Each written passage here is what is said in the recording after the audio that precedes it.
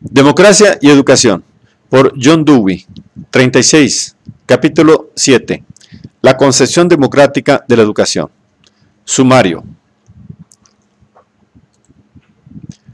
Puesto que la educación es un proceso social y hay muchas clases de sociedades, un criterio para la crítica y la construcción educativas implica un ideal social particular. Los dos puntos seleccionados por los cuales medir el valor de una forma de vida social son la extensión en que los intereses de un grupo son compartidos por todos sus miembros y la plenitud y libertad con que aquel actúa con los demás grupos. En otras palabras, una sociedad indeseable es aquella que pone barreras interna y externamente al libre intercambio y comunicación de la experiencia.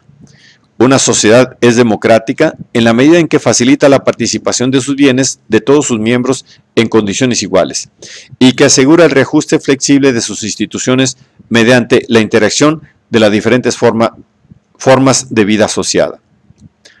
Tal sociedad debe tener un tipo de educación que dé a los individuos un interés personal en las relaciones y el control sociales y los hábitos espirituales que produzcan los cambios sociales sin introducir el desorden.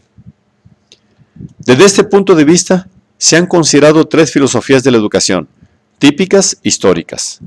Se encontró que la platónica tenía un ideal muy semejante en la forma en la forma al que hemos formulado, pero que estaba comprometida por hacer de la clase más que del individuo la unidad social. Se encontró que el llamado individualismo de la ilustración del siglo XVIII suponía la noción de una sociedad tan amplia como la humanidad de cuyo progreso había de ser órgano el individuo, pero carecía de un procedimiento para asegurar el desarrollo de su ideal, como se evidenció en su fracaso en volver a la naturaleza. Las filosofías idealistas institucionales del siglo XIX suplieron esta falta, haciendo del Estado la agencia, pero limitando con ello la concesión de la finalidad social a los que fueran miembros de la misma unidad política y reintrodujeron la idea de la subordinación del individuo a la institución.